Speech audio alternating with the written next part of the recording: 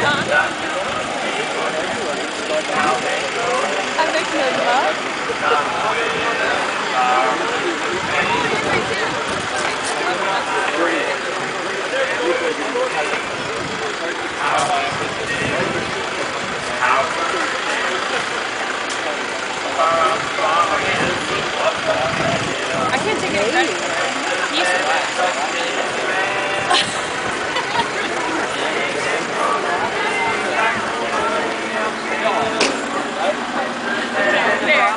yeah, so um, when I told her that, Les? Leslie? And I was like, no, no, it's Lindsay, but Les is with me, but she's not right here right now. She's like, oh, okay.